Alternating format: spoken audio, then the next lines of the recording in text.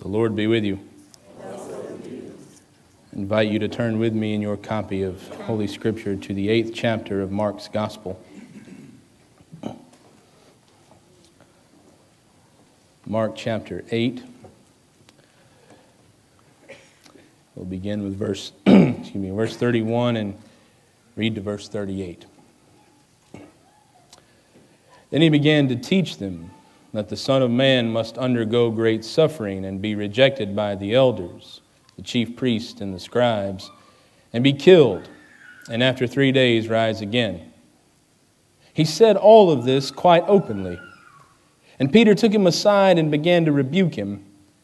But turning and looking at his disciples, he rebuked Peter and said, Get behind me, Satan, for you are setting your mind not on divine things, but on human things. He called the crowd with the disciples and said to them, If any want to become my followers, let them deny themselves and take up their cross and follow me. For those who want to save their life will lose it, and those who lose their life for my sake and for the sake of the gospel will save it. For what will it profit them to gain the whole world and forfeit their life? Indeed, what can they give in return for their life? Those who are ashamed of me and of my words in this adulterous and sinful generation. Of them the Son of Man will also be ashamed when, it come, when he comes in the glory of his Father with the holy angels. May God bless the reading and hearing of Holy Scripture. Would you pray with me?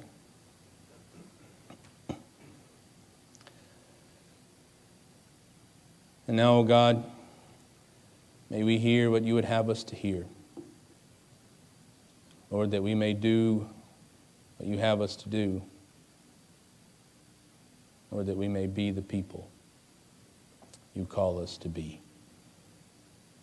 In Christ's name we pray. Amen. well, way back when, and in a former life, when I used to work in an auto shop in my hometown, we would have a handful of guys who would bounce around from shop to shop. They'd work a few months here, maybe a year or two over there, but they never were anywhere too terribly long. There are different reasons why some of them wouldn't stay put. Some of them just never could catch on to the whole, you know, show up to work on time thing. Some of them uh, would just work enough to sort of get caught up on whatever alimony or child support they were behind on, and then thinking that they were caught up enough, they just quit. And then some of them would drink or smoke or fight too much, and well, then there was Joey. Joey's problem was a bit more, let's say, psychological. Joey came to work in the shop after I had been there for a while. But I knew Joey. Everybody knew of Joey. I had seen him at other shops, even at a Toyota dealer once when I was a parts runner. I knew he had a nice toolbox he bought from the Mac man on credit and often hid in the bathroom when the Mac man came by to collect. And he always needed help moving it. Ever so often, he'd borrow somebody's truck or a trailer and have to move it. Joey had a reputation uh, in the shops in town of being slow, not a very quick mechanic. He complained a lot and he was less than reliable. But when help is hard to find, you take what help you can find. And so Joey started working for us and worked a few weeks with the rest of us in this little shop where folks would bring their grandma's rusted out Oldsmobiles, their overloaded F 100s, and their ragged out late 80s model Hondas. I'm not saying it was the top of the line shop, okay? But I remember Joey one day just quit. And as he was pushing his, his toolbox up the ramp of somebody's borrowed trailer, we heard him yell at the owner, I'm tired of getting my hands covered with grease, working on all this old nasty junk. And I distinctly remember saying, Oh, really? What did you expect?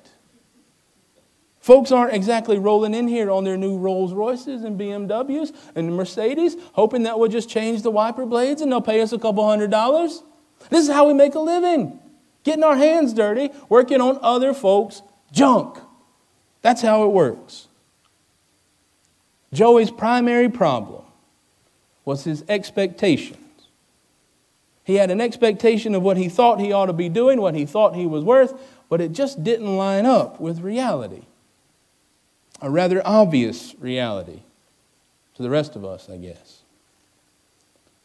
But I suppose I shouldn't be too hard on Joey, though. After all, don't we all sometimes get our expectations out ahead of our reality? Even plain, clearly obvious reality? Now that you mention it, now that I mentioned it, because you haven't mentioned anything, right?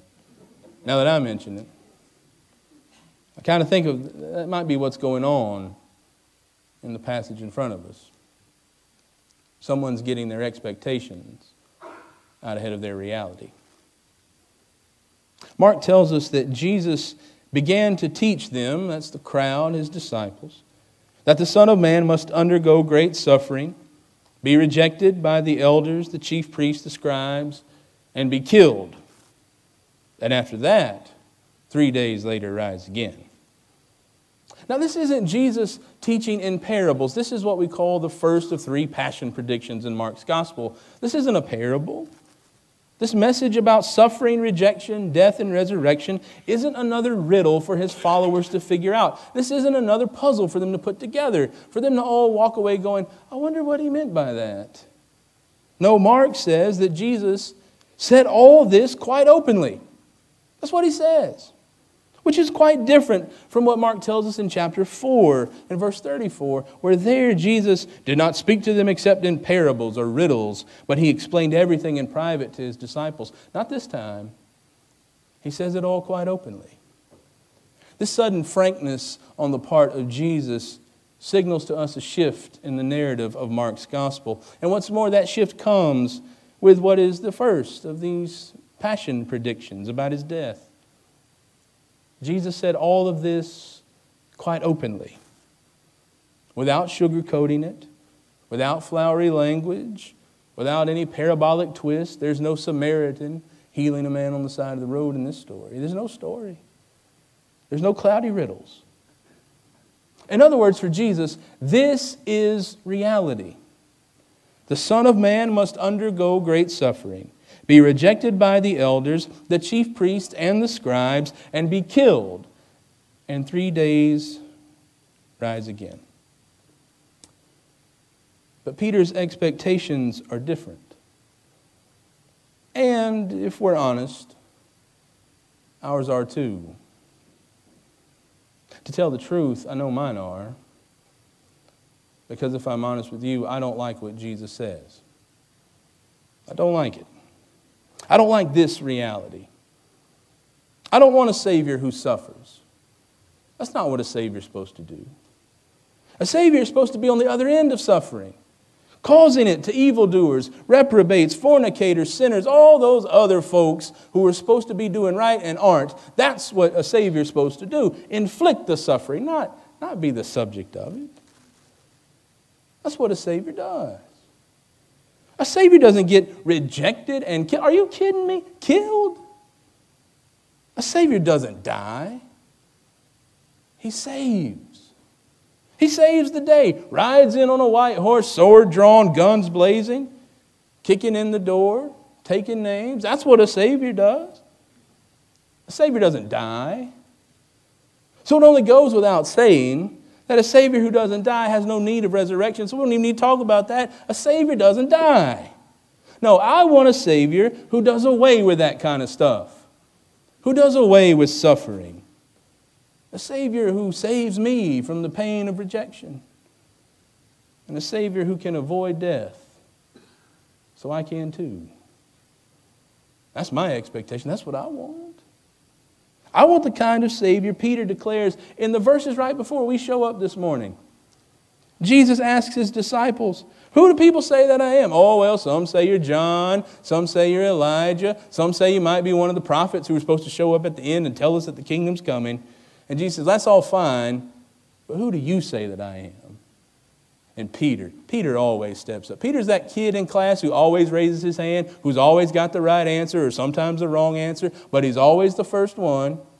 And Peter speaks up You are the Messiah. Right. That's what I want. Really, though, I like the way Matthew tells it a little bit better. Uh, Peter responds, You are the Messiah, the Son of the living God. Did you notice that? Peter knows. Peter knows the kind of Messiah we want, the kind we need. A Messiah not from a dead Savior, but from a living God.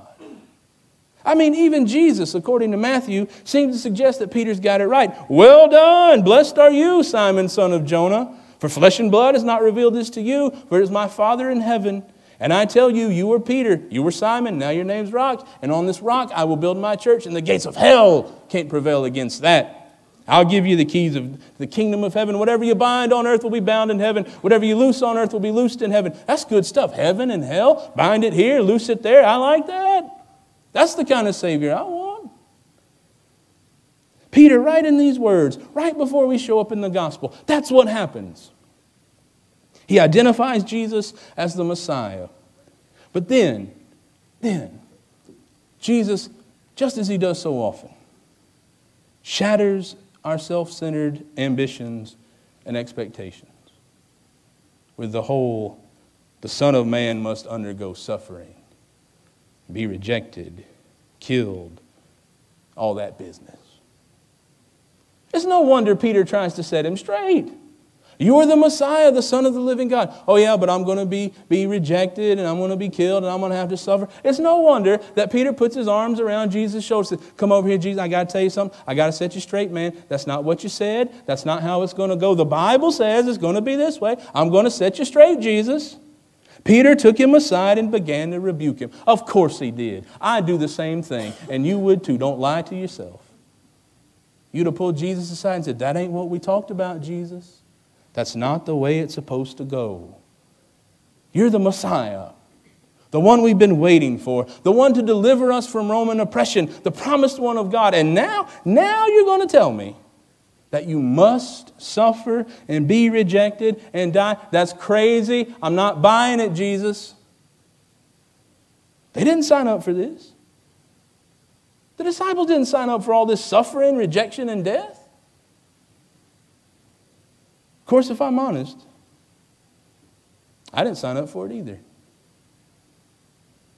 I was 18 when I felt the waters of baptism wash over me. I'd been going to church pretty regularly for a few months, listening to sermons about how much of an awful sinner I was, how hot hell was going to be for those folks who didn't say the sinner's prayer before they died. I'd read the King James Bible the church had given me for my high school graduation, tracts that illustrated what the great white throne judgment was going to be like. And I'd read some of the Left Behind books. I was ready. I knew hell was a place I didn't want to be, and heaven sounded pretty good. I mean, mansions, gold streets. You grow up in a double wide, mansion in a gold street sounds pretty good. Of course, for me, for me, it was the love of God a God whose love had rescued me from all of that literal damnation by sacrificing his son to seal the deal.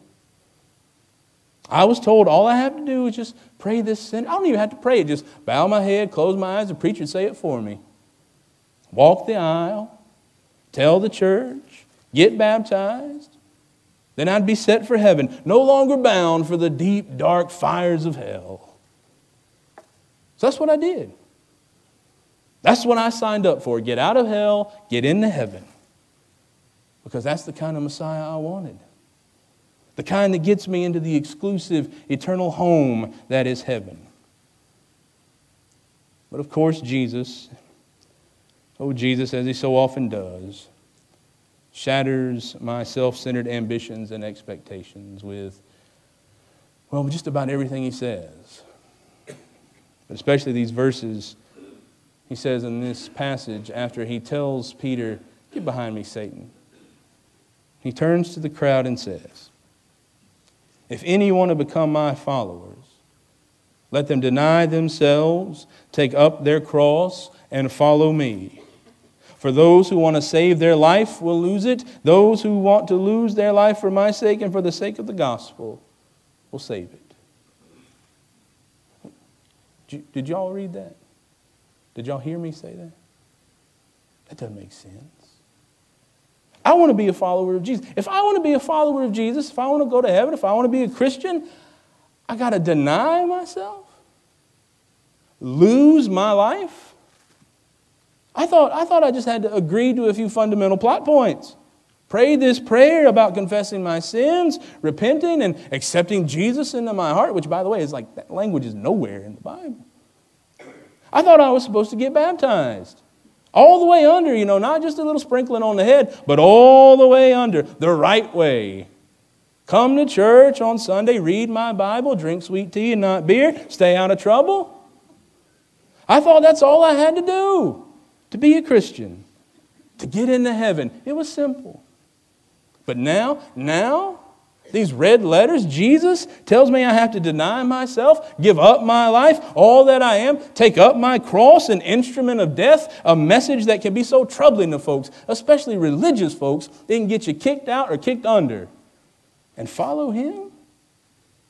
But, but, do y'all know where Jesus is going? It ain't heaven. I've read the Bible. He's going to die. He's going to die. I didn't sign up for that. I signed up for the harp and the crown, the mansion over the hilltop, the sweet by and by, Beulah land. I didn't sign up for a cross, for death, for self sacrifice. I didn't sign up for that. That's not what I wrote my name down on the card for. But you know, it's hard to sell that kind of gospel really is. Folks don't really line up when you start talking about that. In fact, when it came real for Jesus, they all just sort of left. Really, it's hard to get folks to sign up to die, to give away all that they have, to live their lives for somebody besides themselves. It's hard. Why, it's a whole lot easier to get folks to buy in if there's something in it for them, some prize at the end, a reward that makes it all worth it. Why, if you can tell them to be a good person, to love their neighbor, because that's how they get jewels and their crown in heaven, they'll listen. They'll line up. That's how you get the bigger mansion around the corner from Jesus. If you can tell them that God will bless them with material wealth here and now, that'll get them to sign up. Promise them the world in return for their faithfulness. But Jesus says, what will it profit them to gain the whole world and forfeit their life? Indeed, what can they give in return for their life? Could it be, could it be, that when we seek faith, religion, church, whatever you want to call it, when we seek faith as a way to have more, as a way to have a better life, that what we long for is a better life and not God? Could it be that when our ultimate reason for following Jesus is to go to heaven, that what we long for is heaven and not Jesus? I know it's a hard way to think about it. I know you're not trying to gain the whole world, but maybe Maybe, just maybe, you've been eyeballing a little corner lot in heaven somewhere. I don't know. Did you notice how Jesus didn't even mention that sort of thing in this exchange? He doesn't say, if anybody wants to go to heaven, line up. No, no. If any want to become my followers. Followers of Jesus, those who long to live in the way of Jesus, those who learn from Jesus, who seek to live and love like Jesus, to carry on in the here and now in the reality of self sacrifice that can lead even to death like Jesus. You know, that kind of selflessness is not fashionable today, especially not in our culture. No, no, you got to be strong. Look out for you and yours first. You can't just let folks take advantage of you because you know they will. Open yourself up and somebody will take everything you got. Lay down and they'll walk all over you. You can't be that way. You got to have your guard up. You got to be ready. You got to be prepared. You got to be suspicious of everybody. You can't just lay down. Why, a person can develop a reputation being naive, gullible, a pushover weak. Why, it would almost be enough to be ashamed of. But I think Jesus said something about that too, didn't he? Those who are ashamed of me and my words in this adulterous, sinful generation. Those who are ashamed of me and the selfless gospel that I preach. Those who are ashamed of me and the fact that I'm not some mega, super, untouchable God, but a Savior who dies. Those who are ashamed of me and my words in this adulterous, sinful, self centered generation, of them the Son of Man will also be ashamed when he comes in the glory of his Father with the holy angels. Jesus said, If anyone wants to be my follower, let them deny themselves, take up their cross, and follow me. For those who want to save their life will lose it, and those who lose their life for my sake and for the sake of the gospel will save it. If a life full of good times, pleasure, and happiness is what you want, friends, I honestly pray that is what you get. I really do. If a mansion on a gold paved street is what you hope for, I hope that's what we all get. I really do. But if you want to follow Jesus, be ready. Be ready to follow him down paths that may lead to suffering, down roads that only bring rejection be ready to, as the psalmist says in the old King James, walk through the valley of the shadow of death. Because if you truly want to follow Jesus, then I pray you begin this day, that we all begin today to give up more and more of ourselves. To stop seeing the world through the limited lenses of self preservation. To take up our cross, though deadly it is and follow the one who calls us into the truest reality of life a life lived, losing to save. Would you pray with me?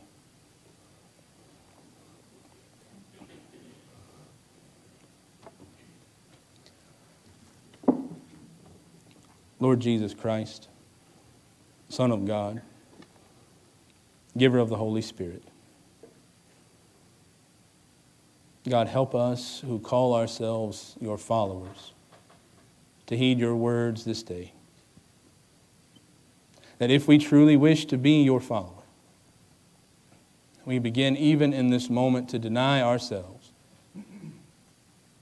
to let go of who we are, to let go of, Lord, what we think we ought to be to deny ourselves, to take up our cross. It's painful, treacherous, deadly though it may be. And Lord, give us the strength to follow you, to know that you lead us to glory. But Lord, on the way, we don't get to skip all the pain and the suffering. And help us to realize you are a Savior who's beyond our expectations. Leads us even through the dark corners of life.